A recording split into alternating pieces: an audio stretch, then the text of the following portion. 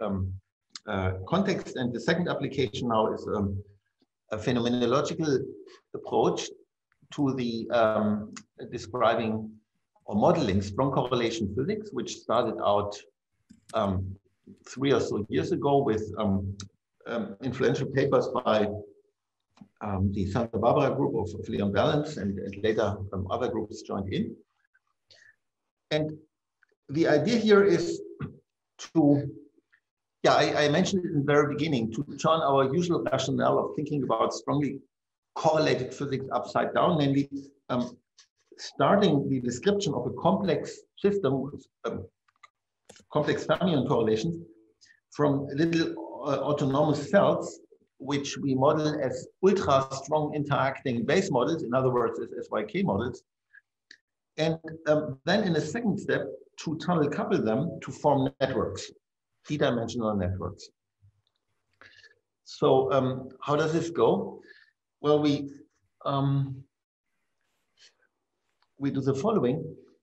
We um, formulate in Hamiltonian again, I cannot stress enough, this is, I mean, highly phenomenological and the success of this approach is simply determined by, in terms of the results or the proximity to uh, real physical behavior of real systems, um, it is able to predict. But um, on, on, on the this phenomenological basis, we say the following. We start um, with a system of Hamiltonians here of these individual cells and for them, we model as SYK Hamiltonians. And we can negotiate whether these are complex fermion SYKs or Majorana SYKs. For the time being, I concentrate on the Majorana version. So we have um, a set of Majorana operators, Clifford operators um, for each of these cells A. And then we tunnel couple. It's a tunneling operator. And this tunneling operator um, is, well, I mean, should, should be sort of natural. I mean, we sum over nearest neighbors and we model these tunneling bridges, I mean, these guys here, as um, uh, bilinears. I mean, and that's, I think one can argue is the most natural um, tunnel coupling you can think of. I mean, people have thought about more exotic forms of coupling, but this year I think is quite natural. And this being Majoranas, um, these, these are the um, are anti-symmetric matrices. And um, to make the whole thing um, Hermitian, we, we add an I up front. And um, these, um, these V's, the tunneling, everything is, is kind of random here. So it, it makes perfect sense to choose them random as well. So we say that these guys are Gaussian distributed. Um, independently of the SYK distribution. And here's a scale, V squared, and this V squared sets the strength of tunneling. Okay. Now um, we follow the same logics as, as before and ask ourselves, um, well, I mean, how, something's going on here, how um, maybe relevant or irrelevant, I mean, how important is this type of, of tunneling on the background of our interacting base models. And it is very natural to start this um, analysis, given of what we had before, um, from a mean field perspective. Mean field in the sense that um, we start out from uh, in a setting where n, and n is the, um, the, the, dimension of the single particle Hilbert spaces on our um, on our individual grains, I mean the n entering the SYK Hamiltonian, that n is infinitely large. This is um, clearly where I mean, thinking about real materials, um, a somewhat academic assumption, right? I mean, you, you, you wouldn't like to have a thermodynamically extended cells in here, and I will relax it in a second. But for the time being, let's assume n is infinite. So we have infinitely many degrees of freedom on our individual cells. And on that basis, ask how, how important the tunneling is. Now, the one and only thing that is now important is um, to remember that the effective fermion dimension of um, our interacting cells is T inverse one quarter. I mean, this is a non-Fermi liquid dimension. And on that basis, we can ask how relevant will now be as a perturbation, the, the tunneling action. And the tunneling action has the architecture, just the raw structure, eta eta among some numbers, some, some potential matrix elements. So what will be its dimension? It is t to the power one um, from the measure. And then we subtract two times one quarter from the fermion operators.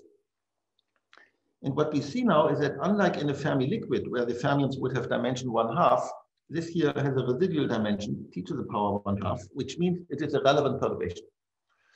So the um, an, important conclusion here is that this SYK2 operator, it is this um, often called, I mean, this is an, what people in the field call an SYK2 interaction, just two fermions instead of four for the interaction operator.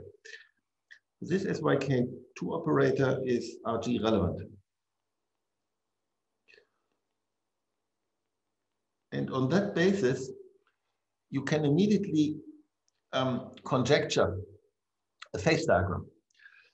Uh, a phase diagram spanned by the tunnel strength, um, here, this tunneling strength, and temperature temperature um, being representative of the time scale, if you want, we probing. And the statement is that we should expect a crossover. And that is his um, prediction, central prediction of this uh, paper by the Balents Group 2017. A crossover between two different regimes. Um, in the, for high temperatures means short time scales. I mean, if your yeah temperature is um, inversely proportional to time, imaginary time, we are essentially dealing with um, isolated network, uh, isolated cells. I mean, assuming that our initial tunnel coupling is weak, this V, there will be a phase at, at high temperatures where we have this non-Fermi liquid here, the isolated SYK cell and in the parlance, parlance of the field, this is called a strange metal phase. Why strange metal? Um, one thing I did not tell you, and I will not uh, discuss in detail, is that you can actually um, describe the transport properties of um, quantum dots modeled by SYK Hamiltonians. And in particular, you can ask yourself, what are their conduction properties, or maybe thermal conduction properties? And this being a non-Fermi liquid, we have no reason to expect why that this would be normal, the normal conduction of a Fermi liquid. And indeed, um, they have strange metallic behavior. They conduct, but with unusual um, temperature dependence of conductances. Electric conductance for the complex SYK model is linear in, in temperature. And that is indicative of what is called um, strange metal phase in strong correlation physics. But what's most important for us is that this is a non-Fermi liquid. And then if you now lower temperature, if you you, you make your tunneling relevant and eventually the tunneling operator will overtake. It will become uh, the most important player. And then you actually generate a Fermi liquid. So what you have then is um, a strong tunnel coupled um, system of, of fermion islands. A Fermi surface will form and you end up in a Fermi liquid. And that's very nice. I mean, the um, you have a um, this crossover physics between two phases which are important in strong correlation physics. You get it almost for free. It's a crossover, not a phase transition um, between these two. And um, it should be evident that the, the crossover temperature increases with tunnel strength, right? For very weak tunneling, you have, a low, have to go to low temperatures to see the crossover. Is that halfway clear up to this point? Question? No. Okay. Now, um, let's ask ourselves the following question, which um, is, is, a very relevant question to ask in this context. Where actually is this crossover line? I mean, when does this crossover take place? And um, the answer is um, found as follows. You should simply ask which energy scale, um, I mean, looking at the situation from the perspective of individual Majorana fermions, which of two energy scales is the most important? so what we want to compare is the strength of the intrinsic energy scales of the SYK cells. And these are our melon type self energies, which we discussed before. Um, so that's one scale. And um, the scale, I mean, and, and, and um, this is actually temperature dependent. In this context, um, it is the cubed of the green function, which we discussed.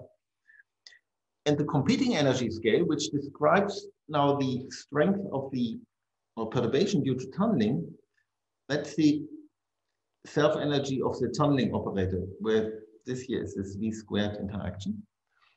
This is a tunneling self-energy, and you can compute both. It's actually not so difficult exercise, an instructive exercise to do this.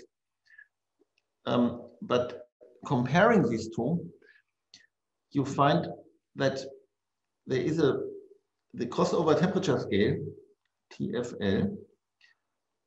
Temperature enters here um, via these, these scales up here. So as a, as a result of this um, computation, you find that it's given as v squared over j. That's very natural scale. You know, it's it's like um, think about it as, as, as kind of um, golden rule type uh, perturbation theory.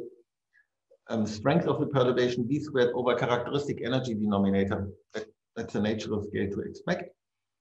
And that sets this scale here. And importantly, it's independent of n. It we are in the n to infinity limit. Okay, so, so far so good. This is um, what you get from this mean field um, approach to the n to infinity um, limit and um, quite encouraging, I should say. Now, the question I would like to address now, what happens for finite n?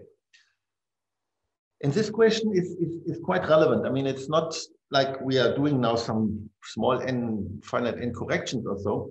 Uh, thinking about a realistic, say, strongly correlated cuprate type or heavy fermion material or whatever, whatever strong interaction cells locally you would form, they would certainly contain only a handful of degrees of freedom. Otherwise, the approach would be academic. So um, it is quite relevant to think about n, about lowish values of n, maybe 10 to the 1, 10 to the 2 max.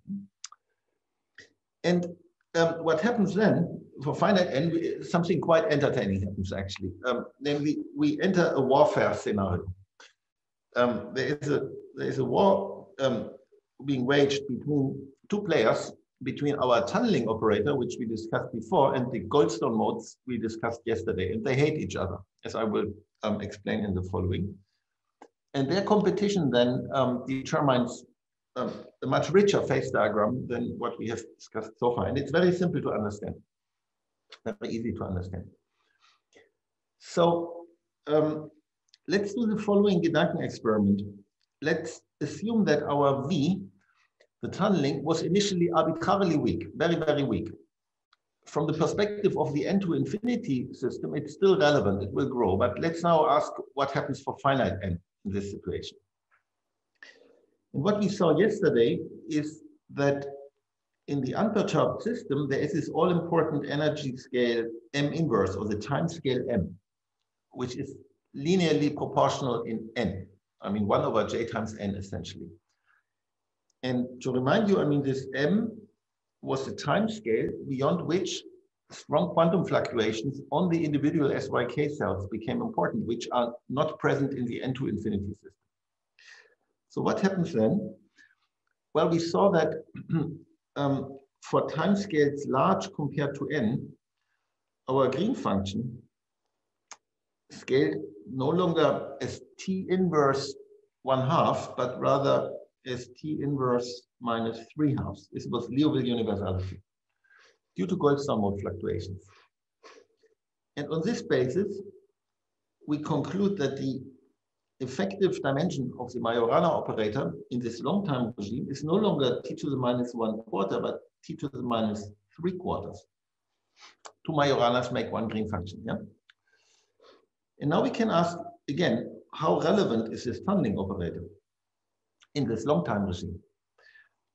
And what we have is again the same tunneling operator to look at. And we do our dimension counting again. So it's one dimension from the integral over time, but now we have minus two times three quarter.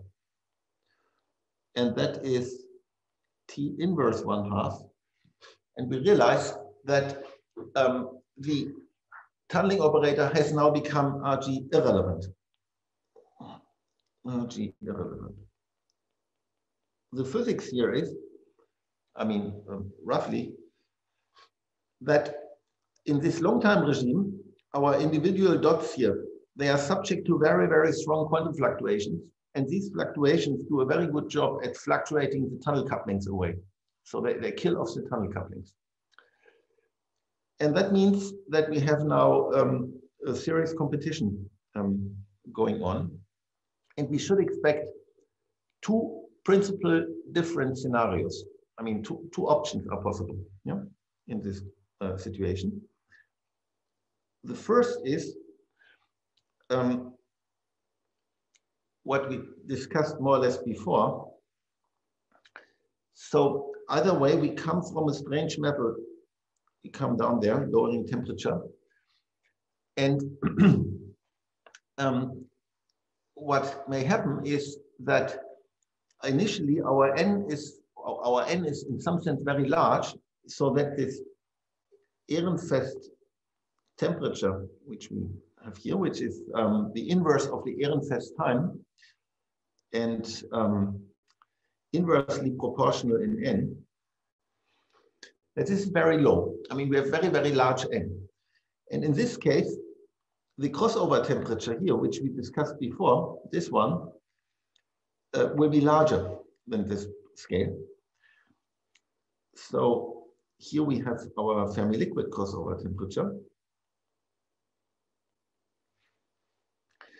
And in this case, the following happens. We come from the strange metal phase. Um, we then turn via this um, Balents uh, crossover into a Fermi liquid.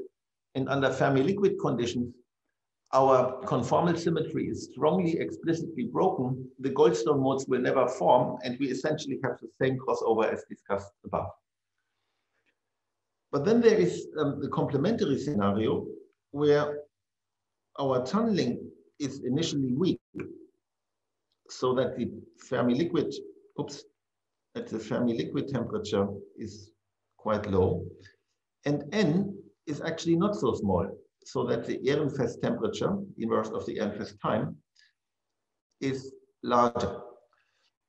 And in this case, we, again, coming from strange metal phase, um, the Goldstone modes form and they kill off the tunneling and we end up in a totally different phase. And what phase will we end up? We will actually end in an insulating phase.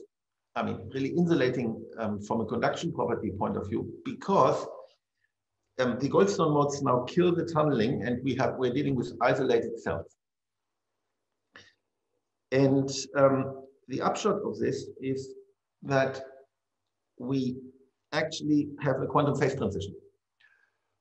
We have a, a quantum phase transition um, and this was for the first time noticed in a paper by um, Feigelman and Lunkin. That was in 18. and the phase transition for fixed n forms as, um, as a function or the, the essential, the, the relevant parameter is a tunneling strength. And it turns out that the dimensionless parameter in which we want to measure this um, is, I mean, n must enter. Uh, clearly for n to infinity, um, this um, guy goes to zero. Actually, the way um. And um, the phase condition is now between the following uh, phases for um, for if, if, this parameter is, is very large, if n is large, um, I will have, I end up in a Fermi liquid, and otherwise I end up in an insulator. And this is really now a phase transition. And above that, I have a quantum critical regime. So um, we have a same, we have such a phase diagram, and here we have a strange metal phase. So um, the, the, this phase diagram can be established uh, from a, um, a renormalization group approach, which I mean, what I discussed so far was, was essentially was some scaling arguments, but you can develop a, a full-blown RG approach. We did that in a 2019 paper. But um, what I think, I mean, irrespective of this um, RG picture, the, I think that the take-home message here is that from this very simple modeling, of the conspiracy of, of um, competition between the Goldstone modes and, and the tunneling principle, we end up with a phase diagram, which is actually quite remarkable. I mean, it, you have competing phases and non-Fermi liquid phases, plus the associated quantum criticality in, in, in, in remarkable similarity to the, I mean, raw structure of the phase diagrams you find for, say, cuprates or heavy fermion materials. So that looks quite encouraging, I should say, that such a simple phenomenological approach can go as far in, in, in predicting this. Um, usually, it, it's much much more difficult to to um, get this type of phenomenology. I mean, starting from from other model platforms. And um, we can now ask, what, what can we? I mean, what what can we do? I mean, um, going from here. And there are um, two directions I would like to mention. Um, here, here is essentially written what I just said. I mean, this um, um, aspect of, of competing correlated phases um, by phenomenology. Uh, the holy grail in this game would now would be to to become, I mean, to be more ambitious and actually include superconductivity. I mean, can, can we can we maybe um, uh, discuss unconventional forms or model unconventional forms of superconductivity in, in this um, kind of line of, of approach. And um, yeah, there are promising indications, but um, progress has been actually not so great so far. I mean, a few groups have tried. Um, there, there is a paper mentioned here which goes in this direction. But um, this is definitely a direction which I think needs more activity and uh, more, more people to, to, think about it. But so far, we haven't been able to explain the high temperature superconductivity superconductor from here. Yeah, I mean that would of course be uh, spectacular. Um, another um, line of activity is um, which which is I mean kind of nice is to do um, nanoscopic quantum transport in this mindset. I mean instead of thinking about whole networks, uh, one can um, in this SYK approach and few, few groups have, have been doing that. There's one reference mentioned there, and this reference contains other references. Um, you can do, you can consider the following. Um, a nanoscopic quantum system, I mean, think of a large molecule or a graphene flake or, or, or whatever, I mean, tunnel couples to leads. And um, in this case, we have a single SYK unit sitting here. And um, turns out that there are uh, qu quite remarkable or interesting predictions about quantum transport properties um, of these systems following from this approach. But um, for lack of time, I, I, just don't want to go there at this point. Okay, so that was uh, essentially it. I mean, um, a, brief um, discussion of how to do correlation physics um, with um, such type of approaches and the concepts that go in there. So the um, yeah, the, the, the, brief upshot, I think I, I mentioned already, is that um, it's relatively easy to get, get, a lot of phenomenology or prediction from, from uh, simple modeling, but it would be just great to have um, to, to go on in this direction and we need more activity. Okay, so that was essentially it. That concludes now our discussion of SYK physics at timescales polynomial in, in N um, good time to ask if there are any questions up to this point. Anything needs clarification? Yes, I was just asking to stop for a pause for questions. Are there any questions, maybe even in the chat? something, something in the chat. No, not even. Uh, not. No. Okay, you can ask it later anytime. But um, I would now, I mean, uh, really switch gears and turn um, open an, a new chapter. Okay. So I just do that. Um, what we will do now is we turn, um, we focus on physics at ultra long time scales, time scales of the order of the many body of the of the level spacing of the many body spectrum. In other words, timescales which are exponential in the um, in the number of constituents and of the order of the dimension of the many body Hilbert space. Uh, where we begin to probe yeah, structures at, at level spacing scales um, um, of, of a hard many body chaotic quantum system. And this regime is of interest essentially to two communities. Uh, first of all, there is a community of many body quantum chaos and um, related fields, including physics of many body localization um, phenomena, where one can say that, and I, I will try to argue on, and show how this goes, the SYK model is um, has become somewhat of an harmonic oscillator of the field.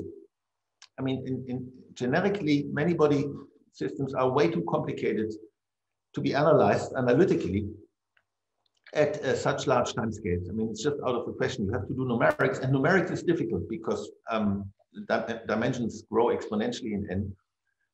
The SYK model is the only model, many-body quantum chaotic model, which is to a large extent solvable, and it's quite remarkable. I mean, so it's, it's a perfect test bed to compare analytic understanding of many-body quantum chaos and uh, numerics and test concepts, etc.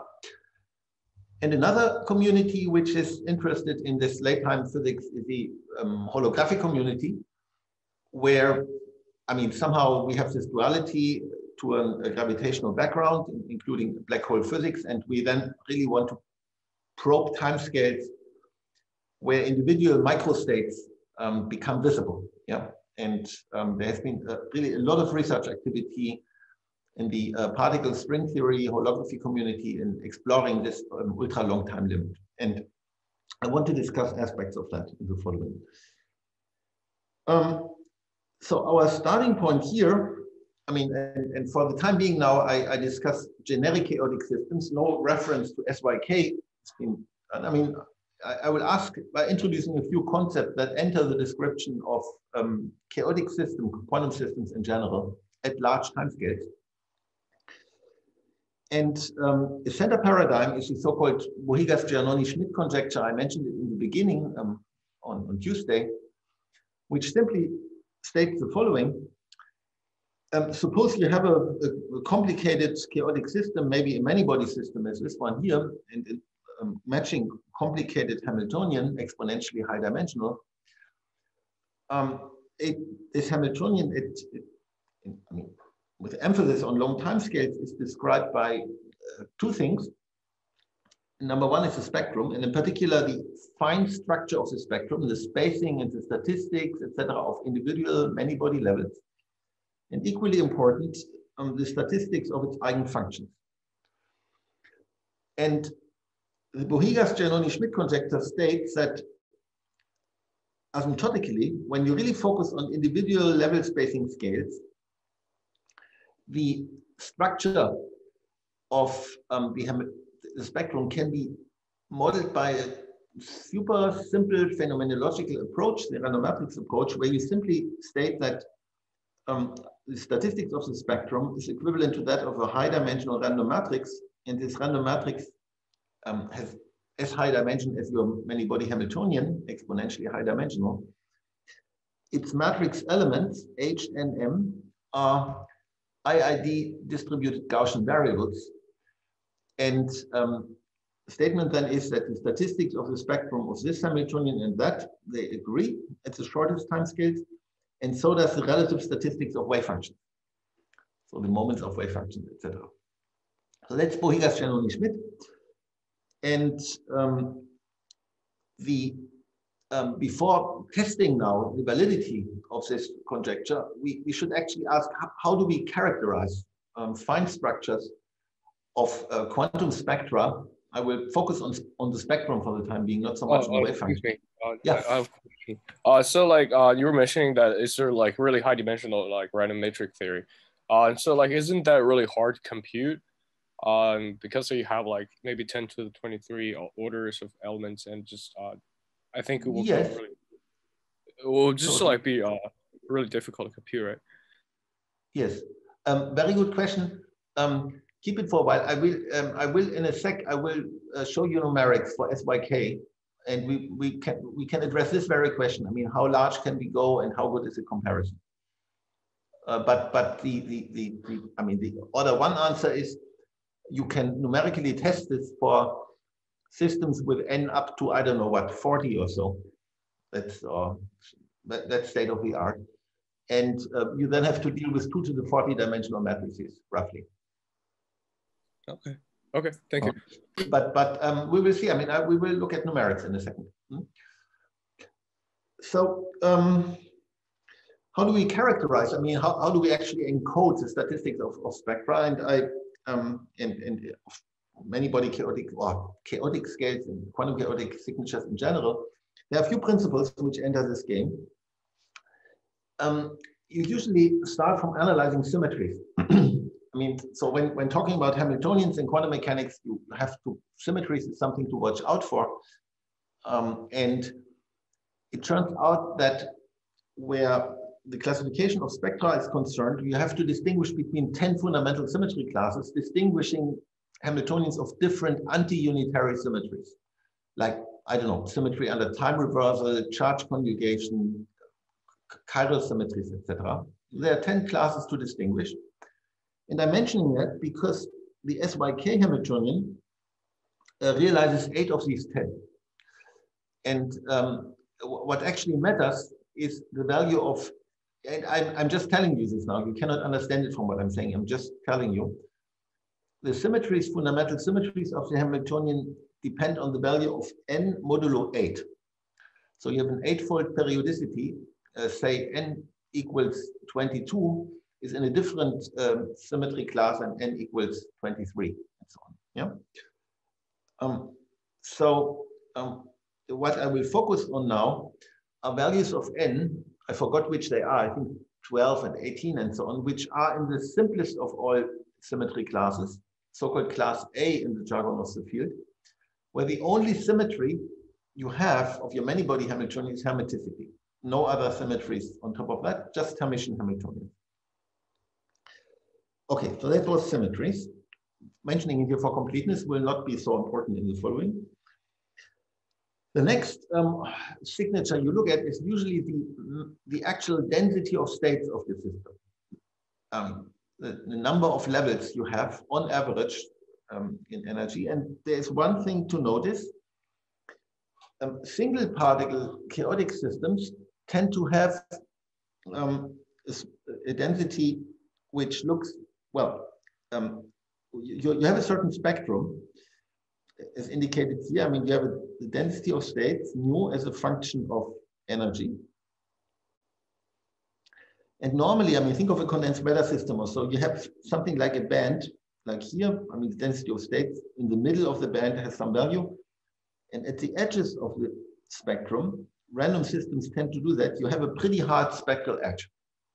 That is generic for single particle chaotic systems, maybe with some small tails here.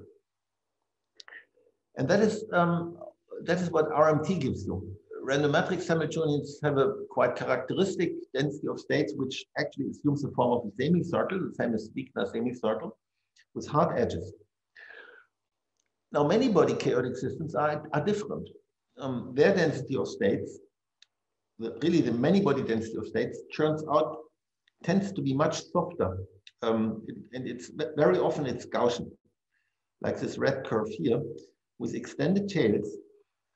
And for the SYK Hamiltonian in particular, we have discussed yesterday that the density of states down here, close to the ground state, actually has a square root sinh behavior. So it, it's quite different from that of a random matrix. And you might then argue, well, perhaps this random matrix approach is just nonsense, it doesn't work. But that is not so. Um, usually, we don't use random matrices to describe the actual many body density of states accurately. What we use them for is to describe fine structure statistical correlations on very, very small scales, somewhere in the spectrum, here and here and so on. And there, or with regard to these questions, um, we will see the RMT approach actually works extremely well. Yeah? We'll see that in a second. So going beyond the mean density of states, how, how do we actually describe now correlations in spectra? And at, at, at the null level, what you need to know is that chaotic spectra, if, if you just take a computer and diagonalize um, some chaotic Hamiltonian, they look quite different from the spectra of integrable systems like harmonic oscillators and etc. Um, the, the most um, important distinction being the phenomenon of level repulsion. So the spectra of or eigens, the, the, the, levels of chaotic systems are highly asocial as objects. They, they repel from each other. And the, the spectrum is in some sense stiff. I mean, like they, they, they want to avoid each other. There are certainly no level crossings, which means that on the scale of the average level spacing, the spectrum looks like indicated here, different from the level spectrum of a typical integrable system, where levels can become arbitrarily close. So somewhat counterintuitively, chaotic spectra look much more ordered than the spectra of integrable systems. And this kind of um, phenomenon, level repulsion, is usually described in terms of certain statistical observables. The most prominent one being perhaps the so-called nearest neighbor spacing distribution. This is the following. Um, it's a it's a function p of s probability I mean probability distribution depending on energy divided by the mean level spacing times the factor of pi over 2. And the difference now between chaotic and integrable systems is that the P of S for a chaotic system and, and for RMT looks as indicated here, it goes to zero for small values of S, which simply means you have vanishing probability to find close by levels. They don't exist. It is then peaked at the mean level spacing here, and then again goes to zero. For integrable systems, um, the probability to find close by levels is non-vanishing, including for very small spacing, and very often assumes the near Poissonian form, as, as indicated here. So that's a P of S statistics. Another, uh, I, am just mentioning, introducing these statistics because we will look at them in a second for SYK, right? So that's, um, bear with me. I mean, there's two more to come. The second statistical signature is the level-level um, correlation function, R2 of S, it's often called, which is simply the, um, this should be epsilon here, which is simply the density of states, density of states at a certain fixed energy E, um, here, shifted by epsilon, multiplied by the density of states at E. So we correlate density of states differing in epsilon. We subtract, take a cumulative average, we um, subtract the average value, and then compute it. And what comes out for RMT is this famous sine kernel behavior. This R um, goes to minus one for small values of epsilon. This should be epsilon. There are a few typos here um, which simply indicates that for small epsilon, much smaller than level spacing, this cumulative, this average here vanishes. You will not find two level densities. Oh, you, you will not have density of states close by an energy. This is again level repulsion. So what remains is a subtracted um, contribution. But then it is very likely to find um, two levels at spacing um, average delta. And that is this peak here. And this repeats then. And so this explains more or less the structure of this function. Um, this function here, um, energy dependent function, has a Fourier transform, which is a so-called spectral form factor, k of tau it is always called. And if you plot that form factor, oops, it looks as follows. In the unitary case, it has quite remarkable uh, shape. Um, tau is essentially um, is one is conjugate to one over s, and a tau of the order of one. This corresponds here to this um, uh, to this um, oscillatory pattern of the sine function. Um, you have a you have a you have a kink, and the uh, holography community got quite fond of this function, and they introduced some names. They call this here the plateau, um, and this here the ramp. just, I mean, the details are not so important here. I just want to, to mention that there are these two correlation functions um, in energy and time. Here, this one, and they have characteristic structure, which essentially measures here this kind of um, uh, spectral rigidity. And finally, there is delta 2 of omega, which is the following.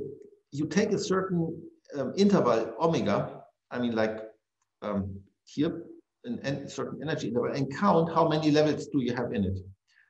And this um, number will differ from sample to sample or um, will differ depending on where you are in energy. So there will be fluctuations. But it should be obvious that the fluctuations in the number of levels in a chaotic system are much smaller than in an integrable system, simply because the levels are so massively ordered, also so, so rigid. And that shows in this variance in the number of levels, which is called sigma 2, usually is, is only logarithmic in the width of your interval.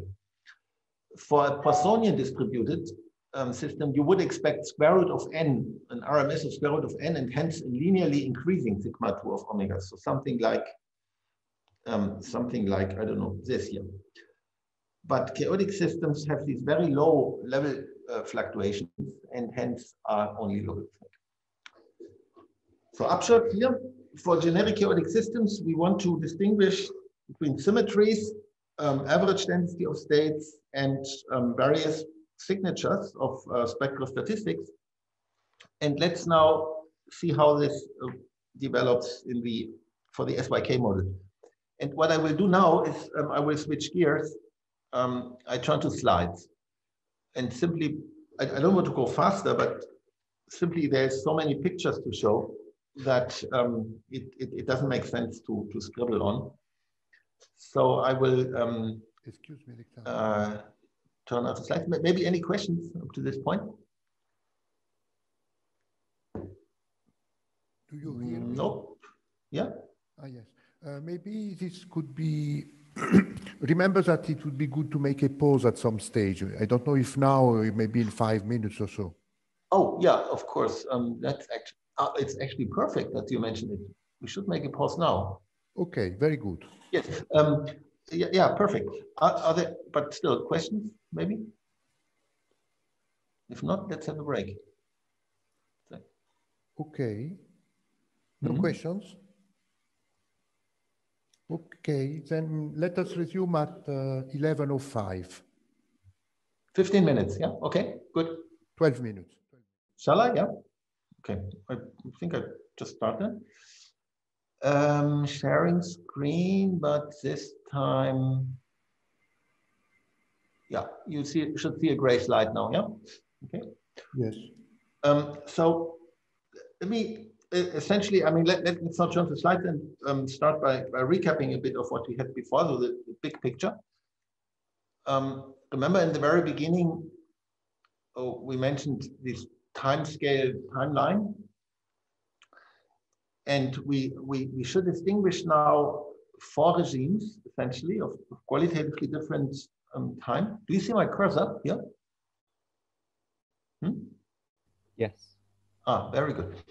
So there is um, um, the, the, super short time scale, smaller than n, where the dynamics is semi-classical and we have operator scrambling and so on uh, at time scales large compared to n, we had these collective quantum fluctuations. And then comes this large, large, large region of unknown dynamics, essentially in between n and exponential in n. But if we go all the way to exponential in n, it gets simple again. so the, the working hypothesis is that for super long time scales, we should expect proximity to an RMT, um, random matrix um, Hamiltonian statistics. And um, genetically, if you have an, say, interesting chaotic system, no mind whether, never mind whether it's single particle or many body, um, you first diagnose that this checks, that you have your RMT regime, but then you ask, what happens if I make my, go now to slightly shorter times, maybe still exponential in n, but um, no longer asymptotically large. And at some point, we should see deviations, systematic deviations from RMT. And it is usually the physics of these deviations or their traces in the spectrum, which is an object of, of main interest. And I will illustrate what I mean by that in more concrete terms, um, both for the SYK Hamiltonian and um, for somewhat um, maybe more familiar case of a, of a disorder of a dirty metal where we can where we can illustrate this type of uh, physics. So these are these um, uh, three um, uh, um, I mean, three and four are now the, the, the regimes of interest. Uh, so brief recap, I mean, just to, to put in perspective, what we had so far for short time scales were this, yeah, the scrambling and um, I mean, described by OTOCs. And we had our um, Goldstone modes, physics here is T inverse six at, at large, um, and, and now we are really getting, oh, there was density of states again. Now, now we're really going to these long times.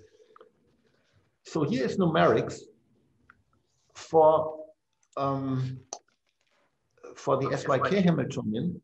Hmm? Was that a question?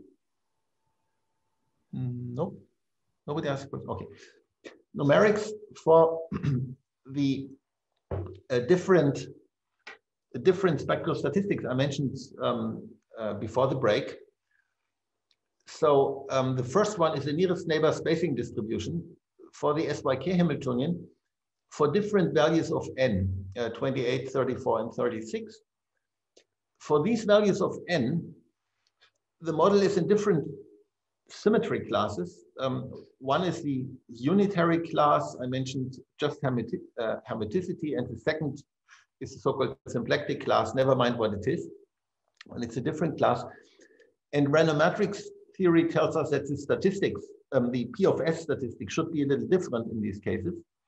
You see the black and the green lines, and you notice that the numerics sit on it almost perfectly.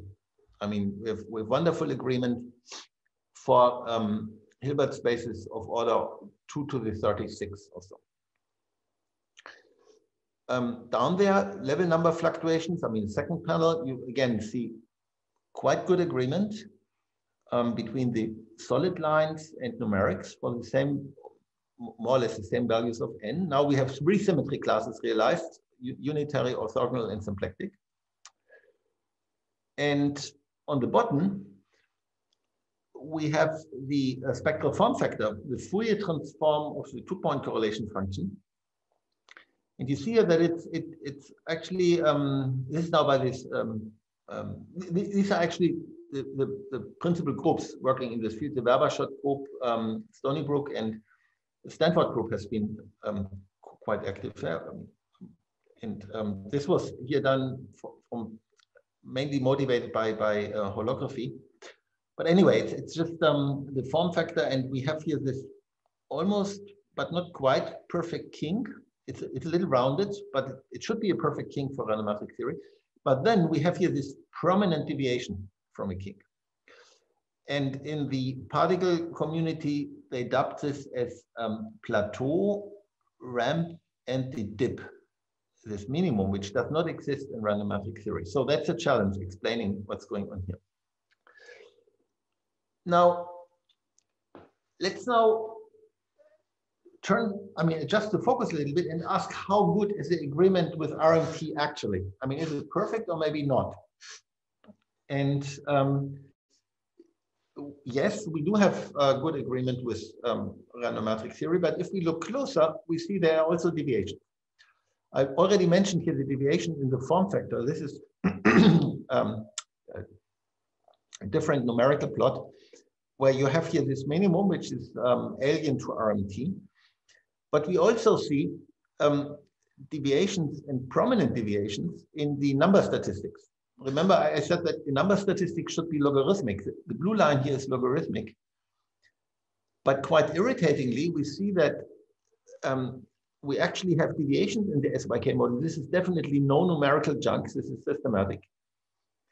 And, and, and we see that the number fluctuations increased actually dramatically, super linear. I mean, even stronger than Poissonian. So we have massive level number fluctuations for large um, level intervals. I mean, this L down here is the number of levels in your, in your monitoring interval. And there is a challenge to explain this. Okay, so the upshot here is um, that we actually have an, an interesting situation, um, namely um, RMT fidelity checks at the longest time scale and smallest energy scales, but it's not perfect. And we, we are ambitious. We want to understand what are the physical principles be behind these um, deviations. Now, the first observation in going in, or addressing these questions is to is to realize that we are actually not dealing in SYK with a simple Hamiltonian of Gaussian distributed matrix elements. Um, our Hamiltonian is a little more complicated. And let's now think about the Hamiltonian of the SYK model, not, not in a like in a, in a second quantized way of thinking, but rather in a first quantized um, mindset. So imagine your um, Hamiltonian is a big matrix, the many-body Hamiltonian. And this Hamiltonian acts in a, in a Hilbert space, um, which is um, 2 to the, well, I mean, depending on your counting, n or 2n dimensional. So what, what, I, what this figure here on the right is, that's actually a faithful representation of a 2 to the um, um, 2 to the 7 uh, sites, occupation number sites, complex fermion occupation number sites of a, of a space of 14 Majorana fermions. So if you have 14 Majorana fermions, they correspond to seven complex fermions. The Majoranas are real and imaginary particles of complex fermions. And these fermions can be occupied or non-occupied. So you, that means that your Hilbert space has a dimension of 2 to the 7, uh, 128. And what I've shown here is one particular site, I mean, arbitrarily chosen site, this 000110 occupation number site. And the red lines indicate the partner sites connected to the site by the SYK Hamiltonian. Yeah, the SYK Hamiltonian is a, I mean, two-body interaction. It connects certain sites in this many-body Hilbert space, and it's actually a faithful representation for the real SYK Hamiltonian. And it teaches us the main signatures of our Hamiltonian matrix. Namely, we notice that the Hamiltonian acts in a lattice which has, I mean, there is no natural metric here, but it is somehow has a linear extension of order n but it has a very high packing. It has two to the n sides crammed into this linear in n extension. And each side is connected to n to the four partner sides of the order of. Um, so that is a large number, but it is not exponentially large. So we have, we have a sparse matrix. The Hamiltonian is sparse. And it is in some sense long range and also massively correlated. I mean, it's not like we have statistically independent um, matrix elements in this seven dimensional, I mean, seven side system, we have only, um, we, we have only few, relatively few independent um, uh, random amplitudes, not exponentially many. So we have massive, massive correlation. It's not like we have IID disorder. So these deviations from are responsible, indirectly responsible, directly, I mean, we have to explain why, for the deviations in the statistics from the ideal random matrix um, uh, paradigm. Yeah, and we want to understand this better. I mean, how, how can we how can we make sense um, of all this? And um, in order to get closer to this question, I mean, um, to, to, understanding, I mean, these, correlations in Fock space, spectral fluctuations, um, it's good to first think about a much simpler but conceptually related situation. And we, let, us switch total gears. I mean, let's switch gears and look at another chaotic system, which is much simpler, namely just a chunk of dirty metal. I mean, imagine you have a tiny piece of um, disordered metal, um, a fermion system, free fermion system with static disorder, and it's certainly chaotic. And let's ask ourselves, I mean, just qualitatively, what will we expect if we say um, inject a wave package into such a metal, or if we if we consider a density distortion and ask for its quantum mechanical um, uh, dynamical behavior. So um, as time goes on, I mean, you, you just um, create a little density distortion somewhere. You start from a wave package. I mean, this wave package will spread and the, the spreading dynamics in a chaotic system is effectively irreversible. So it will be diffusive. Yeah? In, a, in a metal, you diffuse both classically and quantum mechanically. And after a certain time scale, um, which is known as the Thouless time, that's a, I mean, a standard term in the field, uh, your dynamics becomes ergodic. I mean, the wave package has now fully explored um, the, the, metal. The metal is finite dimensional, and I mean, the density relaxes to a uniform profile. And from this point on, you don't see any spatial structures anymore. You don't see dimension. You see nothing. I mean, in the dynamics, the only thing you see is symmetries. I mean, the, the metal will still know whether it's time reversal invariant or not, but nothing else. So on this basis, we um, identify this very long time regime beyond the Thouless time as a random matrix regime. And this kind of relaxational dynamics leading into it um, as the pre-Thouless time dynamics. And it's still chaotic and still universal to a large extent. In a metal, um, these relaxation modes, which describe the relaxation into this um, uniform background, are diffusion modes.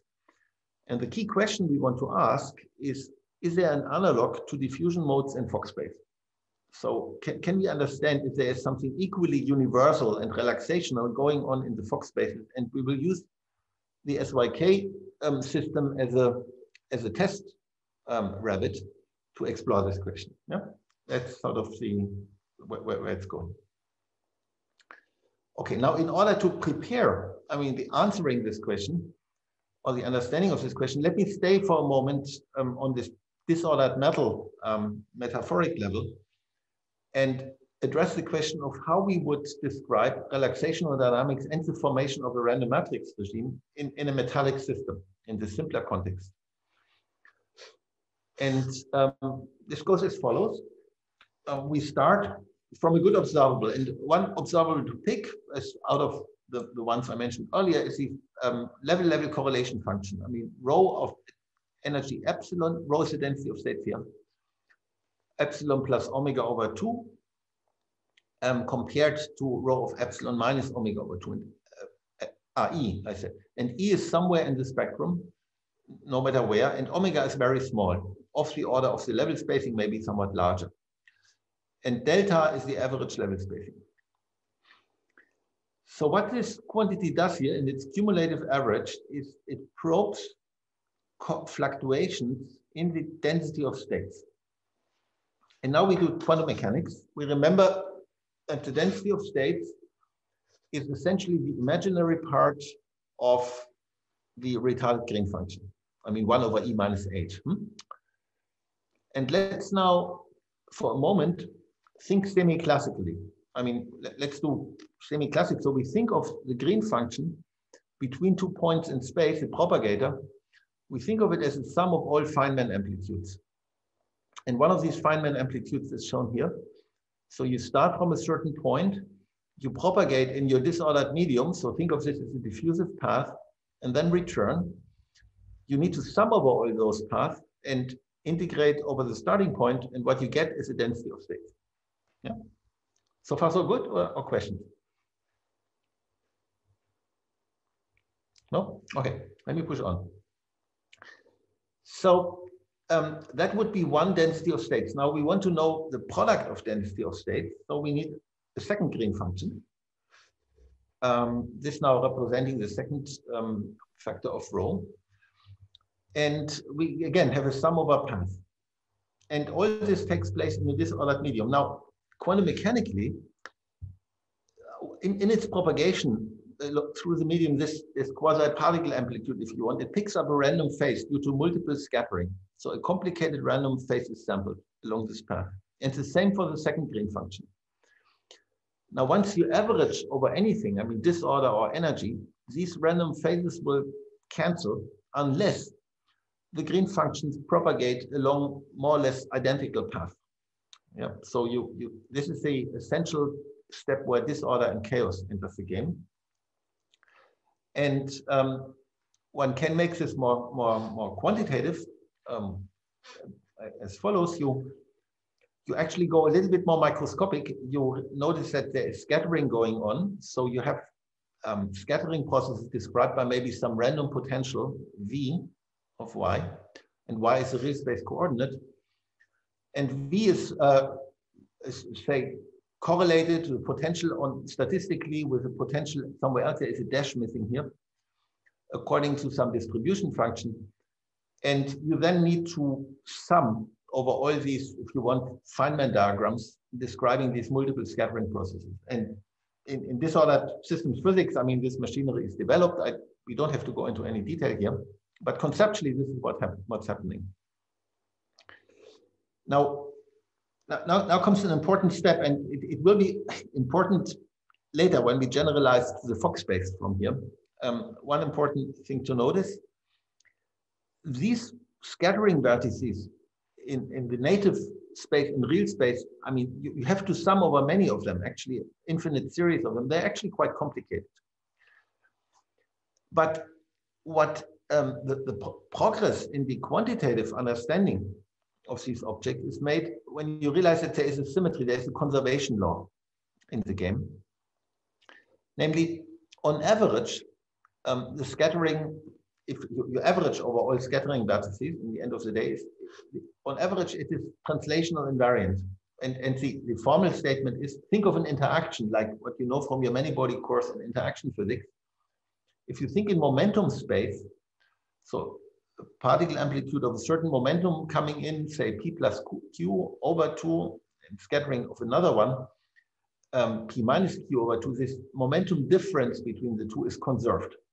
That is simply the um, translational invariance on average over um, aver averaging over a random potential. Um, this is very important.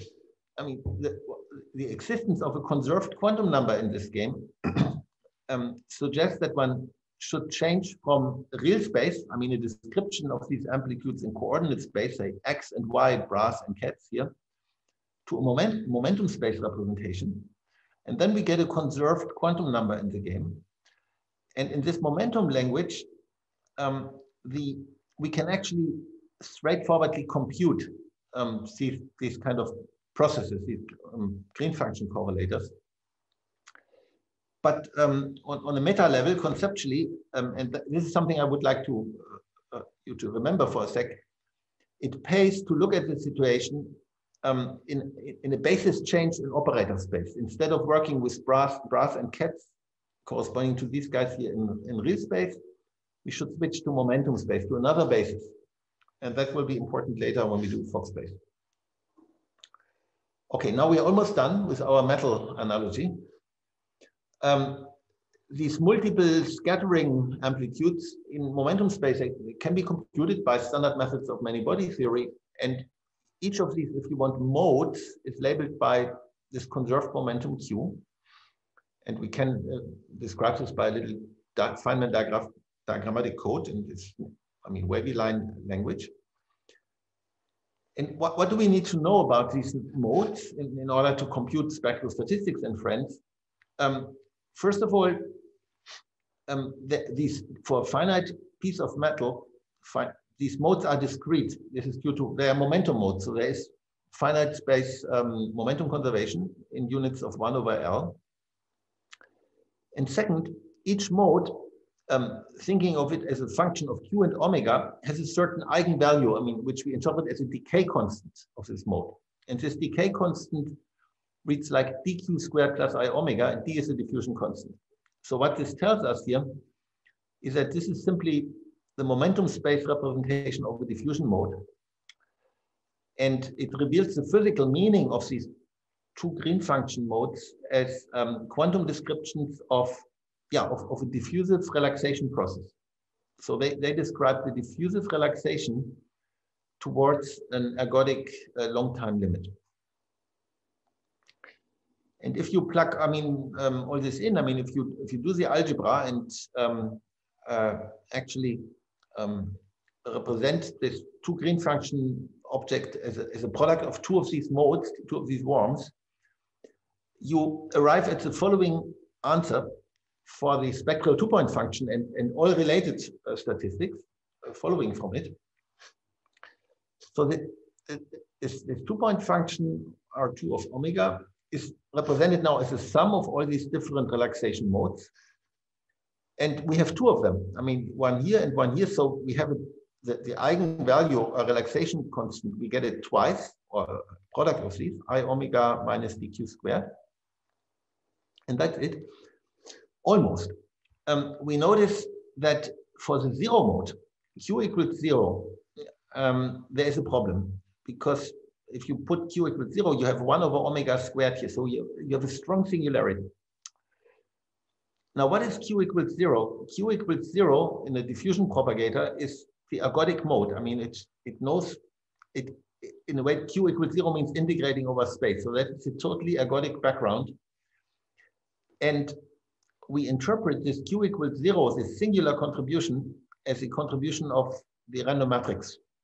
I mean, this is what where random matrix physics should sit. And to cut a long story short, uh, you need to regularize this one over omega squared singularity by, by summing over higher order modes. And um, there is a field theory sitting in the background and, and, lots of things to be said. But in the end of the day, if you if you resum um, the series of, of um, infra, infrared singular diagrams, you get the random matrix contribution.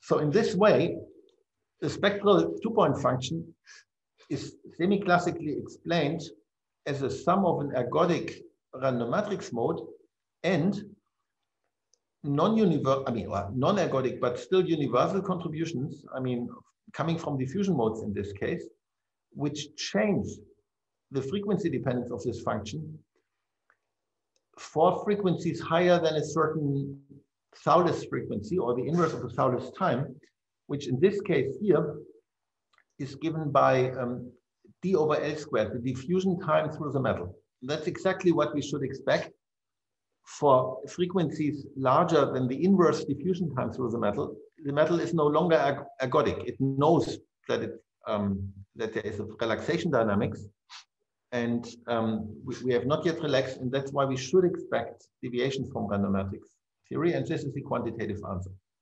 And that is here, I was is, is um, Altshuler and Shklovskii, 1986, um, dirty metal physics.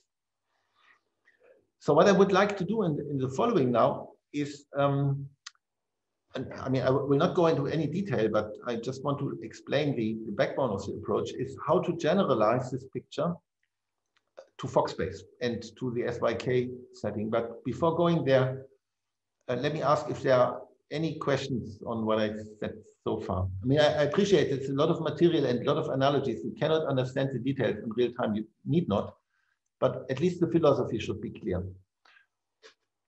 So any questions or should I comment on something? No? Okay. Um, yeah, then let me um, now do the following. We now want simply, we, want to play a similar game in space. I mean, and um, and notice that this is actually quite an ambitious endeavor. I mean, um, it has never been possible before to do something quantitatively at, at this level of quantitative analysis, which I discussed um, previously for the metal, for, for a many body system. So that's quite an ambitious project. And remarkably, the SYK model is just simply enough to make it possible. I mean, for SYK, you can you can go quantitative and you can go do this analytically. And I want to outline how this is done. So we we essentially play the same game as before. And um, by playing that, I mean that we think of the SYK Hamiltonian as a matrix. Um, I, we had it before. And the, the leverage we have is actually the simplicity of the Majorana-Clifford algebra defining the SYK Hamiltonian. And to uh, explain what I mean by that, let's now look at our SYK Hamiltonian again. This is now, this Hamiltonian now assumes the role of the random potential I discussed before for the measure, right? So we have four Majorana operators and um, to discuss this, I mean, uh, there is a short shorthand notation here. Let me introduce this four tuple um, IJKL, order n to the four of them.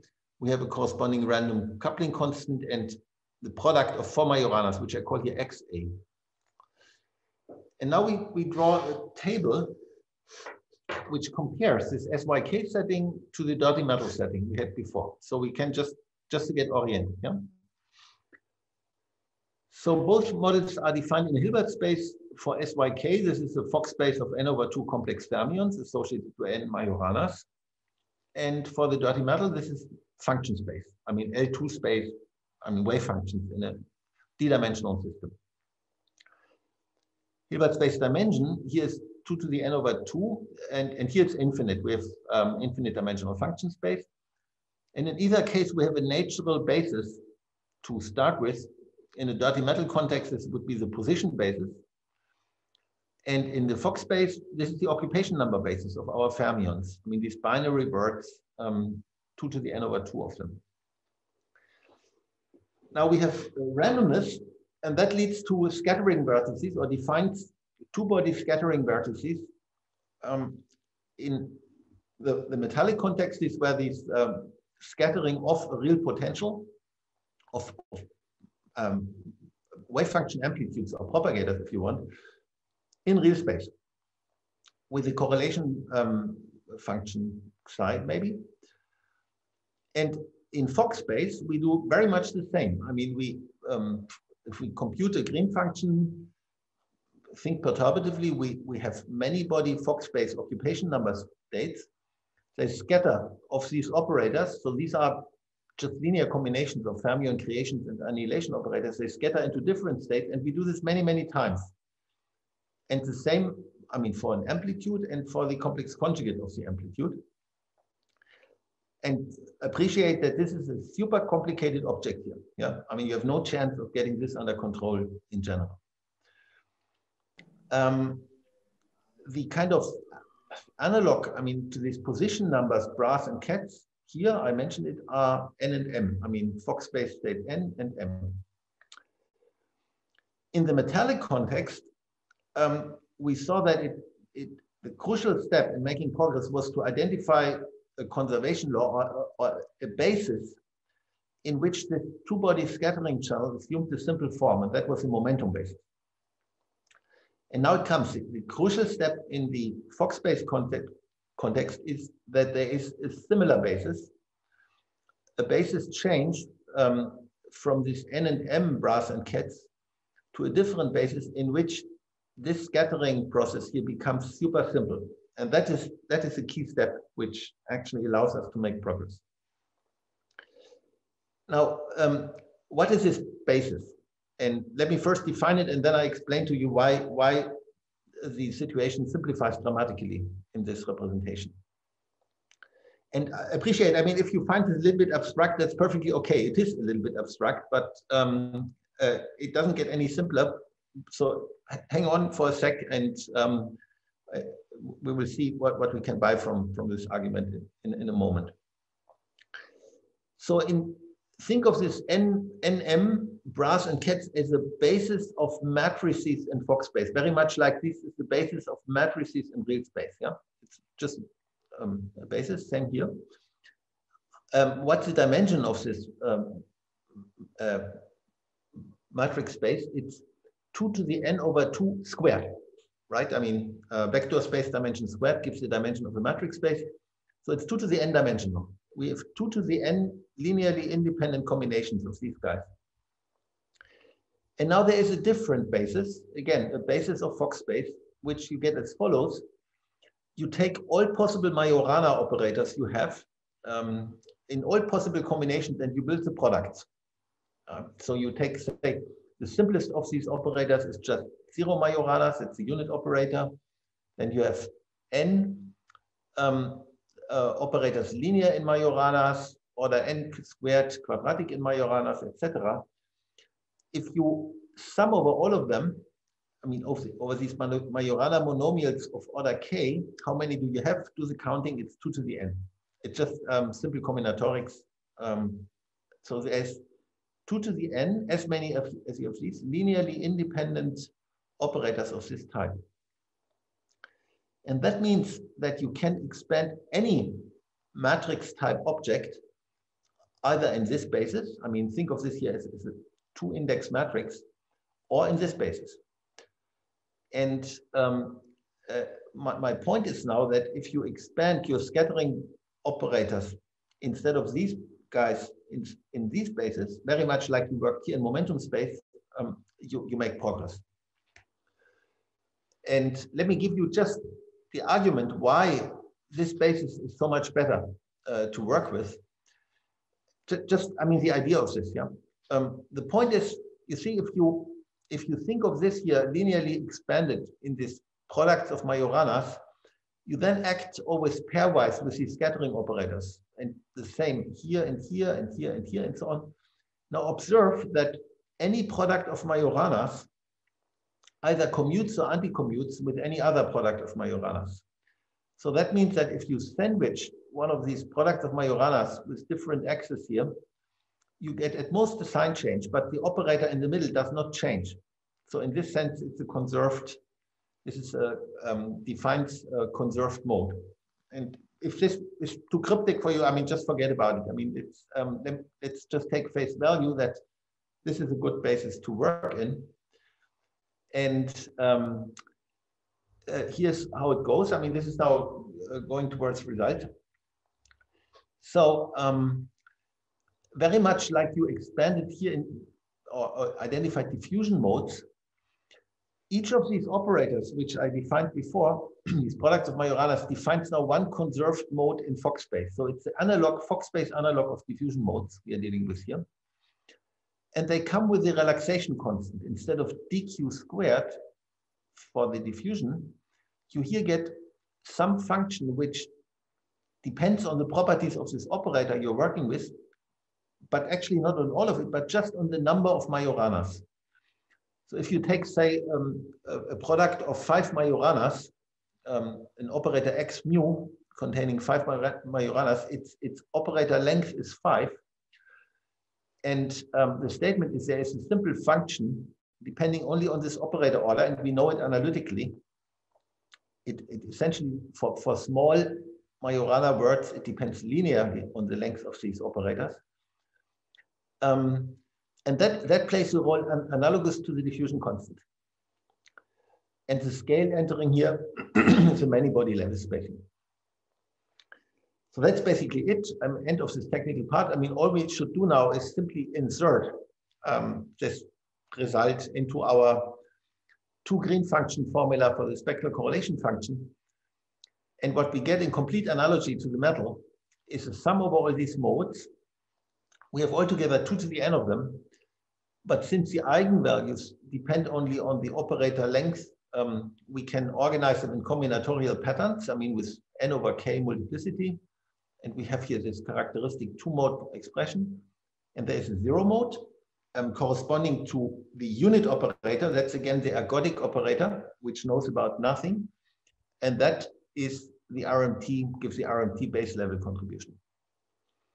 And that's a formula, and epsilon of k is known. And now what we can do is we can simply test how good is this. And that we, we, we compare to numerics. So um, that's what you see here. I mean, if we evaluate this formula and plug it in, we get for the number variance, we get the plots shown here on the right. And we can compare this to numerics and the comparison is good in the few percent. I mean, there are two or three percent deviations and there is not a single fit parameter here. So there's, there's, a, there's near perfect agreement of this um, formula with the observed numerics. And um, for the spectral form factor, we can play the same game. I mean, we just take the Fourier transform of our function and we get these functions here shown on the right and compare them to numerics. Uh, the comparison here is a little bit more hairy, but um, the semi-quantitatively, everything is, is, is all right. We get our dip and the dip um, is in, I should say, in very good agreement with what is numerically observed.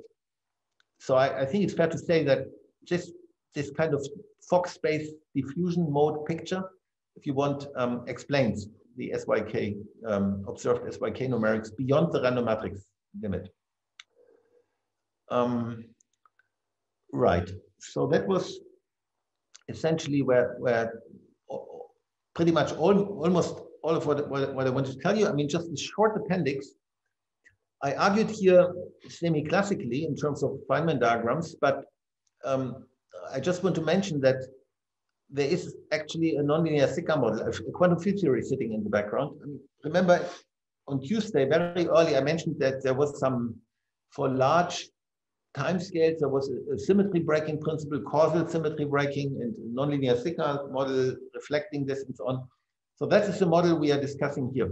Um, these, these, results I mentioned earlier, we get from this um, quantum field theoretical result, certain supersymmetric um, uh, field theory, which I, I cannot possibly explain, but let me just mention that this one has the symmetry breaking um, principle built in, which in a way encapsulates much of what I said before. And notice that there's a certain structural similarity to the G sigma action, but this is a totally different field theory here. And this field theory now works best for small values of omega, means for large timescales. Yeah, so that's the second um, analytic theory we have in this SYK game. And just to illustrate how good it actually works, um, this is again numerics, yeah. And uh, for, for various values of n in different symmetry classes, and notice here we have these kinks. Um, and it, depending on which symmetry class they are, these are actually not kinks. Sometimes they are round for the orthogonal class, and for the symplectic class, you have here these little cusps. And um, look at these structures here. You, you might think that this is maybe numerical dirt, but in fact, it's not. Um, so uh, this is here, um, these are analytic results um, for, for these um, three correlation functions obtained from the field theory. And this is deeply non-perturbative. I mean, there is um, really, this is um, beyond any perturbation theory. And the field theory does a very good job at explaining this. And this is actually many-body physics, which we are seeing here. So I, with, with really with room to spare, I don't know of any other many-body system where you can play these games at this level of um, accuracy. Um, one thing, I don't want to overburden you, but one thing I let me just briefly mention without explaining it. Um, what is the physics of these space diffusion modes? They are actually responsible for giving the many-body density of say, its Gaussian form rather than this semicircular form for single particle systems. Um, you can ask me if you, if you want to know more about this. Let me just mention it at this point. And um, finally, and more or less to conclude, um, this uh, very long time game. Um, so I, the, the, main message I would like to take you to, um, I would like you to take home is that the SYK model is actually a near perfect test bed for understanding the different facets of many-body quantum chaos in a context which is just simply enough to be still solvable. Of course, you, you do not get everything. Yeah, I mean, there, there are more complicated many-body chaotic systems which are beyond analytic reach, but this one here is. And I illustrated this on the aspect of spectral statistics. I mean, we looked at spectral fluctuations, but there's uh, many other things you can do. And a few papers are uh, uh, mentioned here. um, you can look at the really very, very interesting problem of many body wave functions in chaotic systems, how they look. Um, quite interesting and controversial field, in fact. Um, the SYK model can be generalized um, slightly by adding a two-body term, very much like what we did in this correlation, strong correlation um, section. And it then shows an MBL transition, many-body localization transition. And this many-body localization transition is analytically solvable. It's the only, only MBL transition which we have under analytic control so far. And, and then there is this aspect of um, holographic quantum chaos where um, people are trying to connect manifestations of many-body chaos in the SYK to manifestations of chaos in Jackiw-Teitelboim gravity um, and friends in the bulk. And uh, much of the numerics I actually showed was done with this motivation by the Stanford group. Um, the late Polchinski was um, active there and, and Shenker and Stanford. I mean, many um, people in holography. Um, and that's uh, where I'm concerned, one of the most fascinating aspects of this problem. I mean, trying to understand how to how to how to describe these structures which we saw here from a bulk perspective. I mean, of, of holographic perspective, and it's um, there has been. I mean, that would be for another day, but there has been um, impressive progress in this direction, but we are still far from an from an answer. Um, okay, so that was more or less it. Actually, I we did good in time. I mean, I, I covered almost all um, what I wanted to tell. Maybe before um, before we leave, um, I wanted to show you one thing. Maybe I've, I've I have some literature. Um, if you want to scribble this down, um, you can ask yourself, I mean, oops, I was um, um, necessarily selective in, in, these lectures and covered what I personally find most interesting, but you can have very different opinions on that, of course. So here are a, a few um, influential papers, which if you like this kind of physics, um, you, you may want to read or look into. Um, there is a there is a quite short review by um, Rosenhaus, who did uh, important contribution um, to the perturbative and la large n mean field understanding of the SYK model. Is emphasizes here n to infinity physics, but has a nice wrap up of um, connections uh, in, in, holography. Then um, a really um, um, inspiring paper to look uh, in to look at, and it's early, right? I mean, it's only one year after the um, introduction of the SYK. So the SYK was introduced by Kitaev in two lecture lectures, video online lectures, um, which of course are worth reading uh, and watching. Um, you can find them on the KITP website. He, he never bothered to write it down. And what Maldacena and Stanford then did is essentially they wrote down the Kitaev story uh, but adding, adding their own insights. And this is an early paper. It reflects the chaos, not in the sense of quantum chaos, but the social chaos um, in the early stages of the, of the field. It's very inspiring read. Um, and it, it's, it's mostly holography related. And, um, and here's another interesting one. This is by um, uh, Cotler et al. I mean, Polchinski collaborated there and um, others from the Stanford group black holes and random matrix theory that draws this um, holographic RMT connection. Again, early perspective. I mean, a lot of progress has been done since then, but it explains very nicely why these models are interesting from, from a holographic perspective. And with that, I think I would like to stop. Yeah, that's it. Okay, thank you very much. Thank you very much, Alexander. Um, are there any questions? I would remind, I would like to remind to the students that Alexander will not participate in this afternoon discussion session, so you should profit now to ask questions, please. Actually, if if, if there is something I, I should explain or discuss, we can of course can. There's, it's electronic. I mean, we can schedule another Zoom Zoom session, but um, only this today and tomorrow I, I just can't.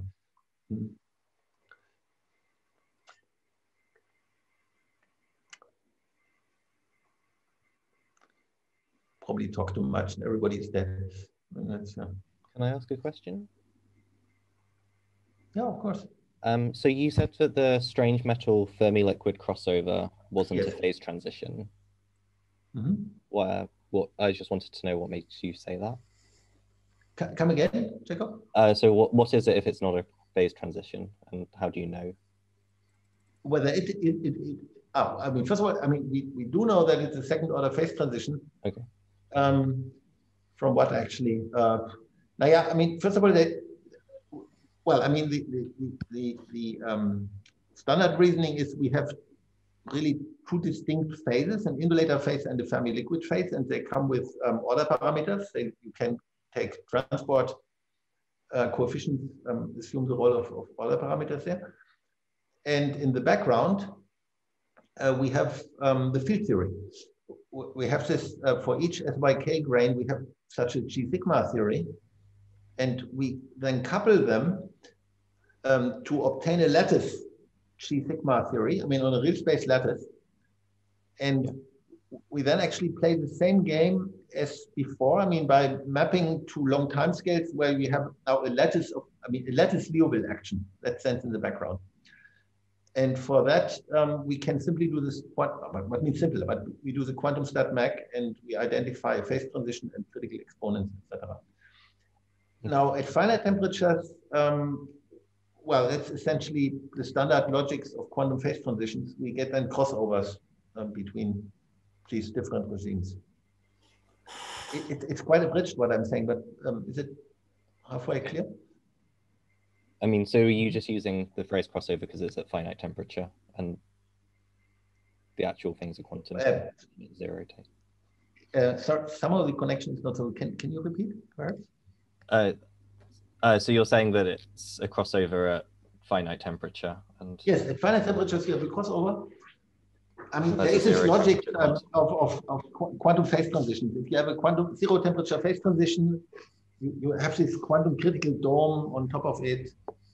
And um, that essentially follows from the fact that finite temperature is like um, uh, confining the time direction to, to a finite interval. And, um, it, it, it's absolutely, uh, it's absolutely standard in this um, uh, field of, of quantum phase transitions. I mean, there is nothing SYK specific there. thanks. Mhm.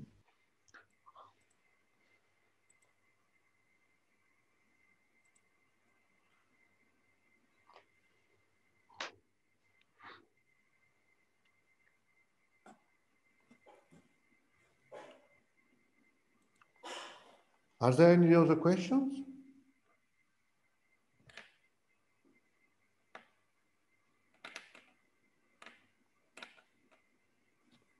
Okay.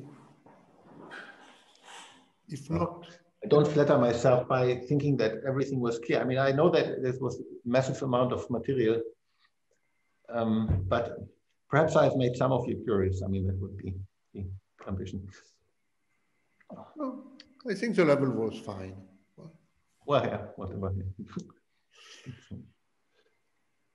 Okay, if there are no other questions, let us thank Alexander again and uh, hope to see you soon. Thank you Yeah. very much, Thanks Alexander. for, for having me. Thank you. Yeah. Also on behalf of all the